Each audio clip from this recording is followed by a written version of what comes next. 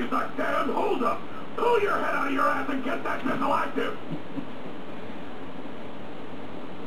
Uh, the procedure takes time. If that nuke isn't armed in 30 seconds, I'm gonna use you as a condom! Use you as a condom? Oh my god. That is the stupidest line I can fucking. Well now he's free to be used as a condom. Get your ass in here! Damn, I'll take badass you Normally I cut the that, cutscenes, but that's just gotta do that one.